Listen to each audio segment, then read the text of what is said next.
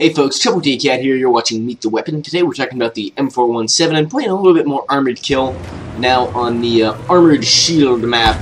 Sorry it's taking me a little while to get these videos up, but fuck it. We're here now. So let us begin. So, um, in real life, the M417, actually the HK417, as it is, as it is known IRL, is pretty much an enlarged version of the M416 HK4 uh, yeah HK416. Um, so if you want to know more details about the weapon, go and check out my M416 video, my first M416 video in this uh, playlist, and you should you know get some more information. Most of the stuff is pretty much the same. The differences are uh, primarily, as I said, it, it, it's it's bigger and by that I mean most significantly uses a bigger round. The uh, HK416 uses 556 NATO round, and the HK417 uses a 762 NATO round for you know a little bit more sort of long range power. It's, it's meant more as a designated marksman weapon, although uh, it does have the option of full auto fire in real life at about 600 rounds a minute. Uh, in the game, it's semi-automatic only comes in three different barrel lengths, a 12-inch, 16-inch, and most likely in the game we're using the 20-inch barrel. And, uh, I mean, aside from that, yeah, it's more or less the same thing as the HK416, just uh, with the larger round, uh, correspondingly smaller magazines, or less rounds in a magazine anyway, uh, 10 or 20 instead of 30 that you would have in the uh, HK416 generally.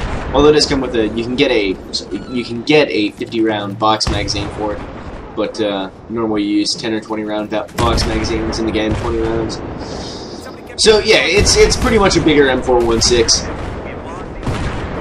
uh, in the IRLs.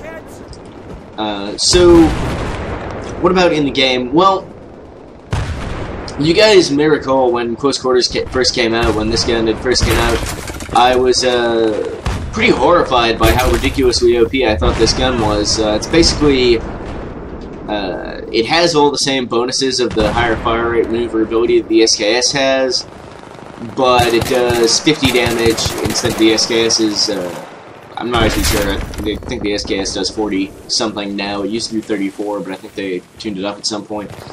Point being, it's a two-shot kill at close range, with the, which the SKS is not, which I felt made it hands down better than all the other semi-auto sniper rifles.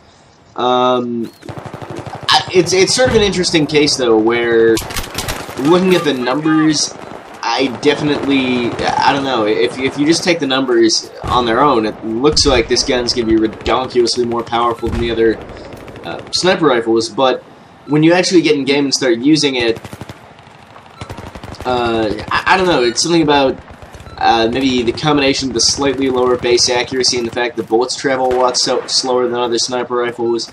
Uh, I, I, don't know. Um, at distance against stationary targets, it's fine. You can take people out in a split second with this thing. In fact, uh, again, that's sort of the kind of thing that happens to me in games sometimes. It makes me go, "Wow, that's fucking OP." Is you'll be standing still and you'll get shot three times by it or twice, but in such quick quick succession that because of BF3's shitty netcode and the high fire rate on the gun, you don't have any time to react. It's almost like you've been shot in the head by a bolt action rifle. You're dead instantly, but uh, instead of hearing one bullet, you just a hail of bullets continuing after you died and, and all this other crap. And um, although it's ridiculously effective against stationary targets at long range and is uh, very strong at medium and up close, it's competitive with assault rifles and stuff like that in close range. I tend to find, particularly against moving targets at a distance, it does lose out because that lower bullet travel speed. Um, I, I, don't know. It hasn't proved to be...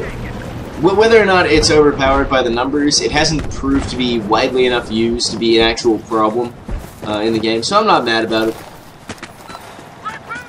Just to uh, revisit how mad about it I was previously and, and state that no longer do I feel the raging fury burning within me when the M417 abounds. Um, in fact, I don't personally really like it. You'd think, actually, that I would really enjoy this, being as I am somebody who enjoys a more sort of mobile style of recon, and that's what the M417 plays to.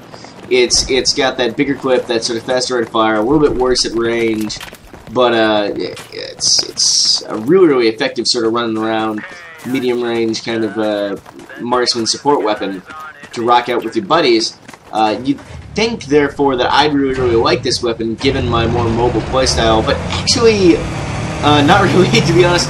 When I'm playing Recon and I'm not recording Meet the Weapon, I tend to either use an L96 or an M98B. I tend to uh, gravitate, I mean, I don't play much Recon, but I tend to gravitate more towards bolt actions because uh, I, I, like that sort of one-shot, one-kill headshot kind of thing. I mean, I'm still running with my squad. I don't sit at the back and fuck around. I don't do that. That's not how I play. I find it boring, and I find it to be almost completely universally ineffective if you're sitting way at the back with a 12-time scope and a 5 something like that. You'll see me running an 8-time scope, a laser sight, and a straight pull bolt normally. On a bolt action, keeping with my squad. And that's just because, yeah, I mean, I, I feel that the bolt actions are the best option if you're accurate enough to pull off those headshots with, uh, you know, a moderate degree of, of uh, consistency. So that's, that's what I tend to enjoy and use. And even for the uh, semi-autos, I generally think I'd probably take the M39 EMR uh, over the M417, although I don't really like any of the semi-autos. And this fucking guy... I thought he teleported for a second, but I, I guess not. Anyway, um, when I was playing, hindsight's always 2020 though. If we get mad in game. You can sort of see here, like, it's a little bit hard to get hits on these moving targets. The bullets are a lot slower than a lot of the other sniper rifles. I do get two hits on this guy while he's driving up, but unfortunately he manages to escape, although... Not for long, motherfucker. But, uh, yeah, M417, I guess it's alright if you're, if you're into these, uh, things. These things with the whole, um, the, uh, sniper rifle over. Yeah, I mean, it's, if you're into semi-auto sniper rifles, particularly sort of lighter, more assault rifle-like ones, will probably suit you. Not my style, but, uh, you might get a kick out of it? Well, hopefully somebody does. This uh, map we're on here, Armored Shield, is actually my... It's probably my least favorite of the Armored Kill maps. Uh, I I actually like all the Armored Kill maps. I really like the way it, it uh, looks. It's got, you know, really good colors, really good uh, appearance. I really wish that, you know, um, Caspian Border, for example, looked this good in terms of you know a, a green foresty map with some buildings. I think uh, I think although Dice refused to sort of uh, do anything to remove the blue filter from the existing maps, they did look at the community feedback of people saying, guys, holy shit, fucking stop with the blue, what the fuck, life isn't that blue, guys, please, why is it blue? Um, I guess they probably looked at that and then into the uh, Armored Kill maps, they try to incorporate more of a non-blue look, whereby the game actually has some colors other than blue. I'm pretty happy about it. I just, I really do wish that the base game maps looked as good as the AK maps. Yeah, this is my uh, least favorite map with DLC, probably because despite how good it looks, uh, doesn't play that well. Uh, you know, I, I guess for me, I'm more of an infantry-focused player. It's what I find more enjoyable. Um, and infantry on this map is really, really hard. You got this sort of area around the village and the farm and near the repair shop. There's, there's some areas around the flags where you can survive as infantry, but for the most part, you've got these giant fucking open rolling fields that are just a total pain to cross, and especially if you're not in a tank. And then, I, I don't know, even if you aren't a tank, um, if you got good attack helicopter pilots, good good helicopter pilots, and good gunship gunners in the air, because of the lack of cover even for tanks, just how flat and open the terrain is, even compared to something, you know, even compared to the other AK maps, like uh, for any of them, Death Valley, uh, not so much Bandar Desert. Bandar Desert has an equal level of fucking getting detonated by air support if you're in a tank. Um, but Death Valley and Alborz Mountain have like enough contours to have some areas where you can cover from the air. This map in Bandar Desert, even if you're in a tank, you are uh, you're probably gonna have a really bad day at the hands of the air support.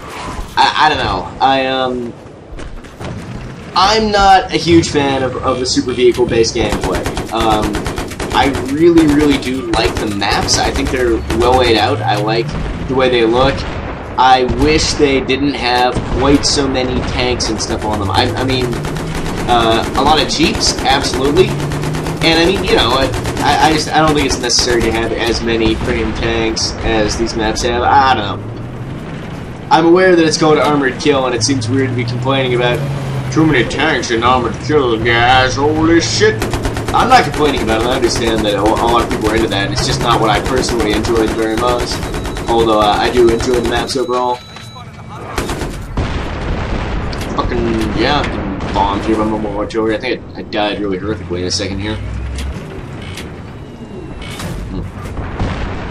Coffee fuel my commentary. Coffee is an amazing thing. It's I'm pretty sure it's one of the most wonderful inventions mankind has ever created. Hot bean juice. As you may also call it. It just I don't know. As amount of coffee consumed, consumed increases, uh, so too does quality of life improve. Approximately uh, equivalent to each other. Although there is a, a, a, limit on that. I mean, at a certain point, there, there can be too much coffee, but I haven't yet reached that point. At least not on this day. So you can see, yeah, if somebody's stationary, you can take them out very, very quickly with the M417. Uh, that, even not particularly fast, you know, uh, you, you, can you can get those three shots out faster than that if you uh, paying enough attention. I, I, don't know, it's kind of weird. It, it, does have slightly lower base accuracy, so a little bit more spread than uh, the other sniper rifles, most of which have a spread of zero, by the way, so your bullet goes exactly where you're aiming, at least the uh, bolt actions, at all points in time. The M417 has a little bit more spread, but it's still uh, small enough that, I mean, you don't if you're aiming on target, you don't miss because of spread if you're standing still, uh, even at very long ranges. And I mean, it's it's still super accurate, guys. Uh, I, I, it's not. So you hear that quoting sometimes people saying like, "Yeah, man, it may have all the, the fucking advantage over the other uh, um, uh, semi-auto snipers that do the same damage as it in terms of magazine size and uh, fire rate." Although you can actually fire the M39 EMR slightly faster than the M417. Um, it fires faster than the others, though. Anyway, um, but uh, man, the base accuracy is lower, but uh, it doesn't doesn't matter. What I found to be the weapon's biggest weakness is actually the travel time uh, and drop associated with the with them bullets at long range, which are it's a little bit harder to manage uh, than the other sniper rifles. It, it's sort of like uh, firing a G3 without a heavy barrel. You know, you get your bullets are pretty slow. You get quite a lot of drop and uh, it takes a while for things to get there, especially compared to the other sniper rifles. Getting shot by a recon, fucking asshole. I personally would never sink to the depths of playing the recon kit.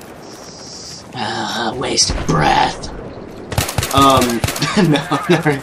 In fact, um, one of the things I wanted to talk a bit about in this video, but I decided to leave off until the next video because hopefully I'll demonstrate it a little bit better in the next one. This wasn't a particularly amazing game. It wasn't too bad or I wouldn't be using it, but not an amazing game and didn't really demonstrate what I want to talk about. Is the fact that uh, Recon can actually be pretty useful in Armored Kill if you are doing the right things, as it were. And I'll talk a bit about that more in, in the next video, but I'll just mention that uh, Recon done right our Armored Kill is obviously dominated mostly by engineers. It's a it's a tank-focused DLC.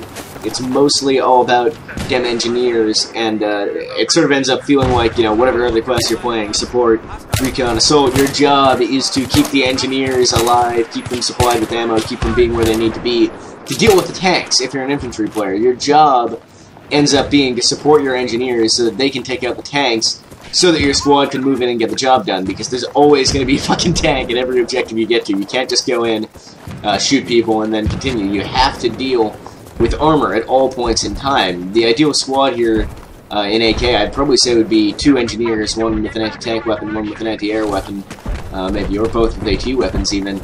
Uh, a support player to keep their ammo fed up, and probably an assault guy to keep them alive. Um, so I mean, recon sort of doesn't factor into that, does it? But uh, uh, into the what I would say is probably the ideal squad Armored Kill. But you can be useful as recon. I'll talk about that in the next video. Uh, but yeah, definitely an engineer sort of focused.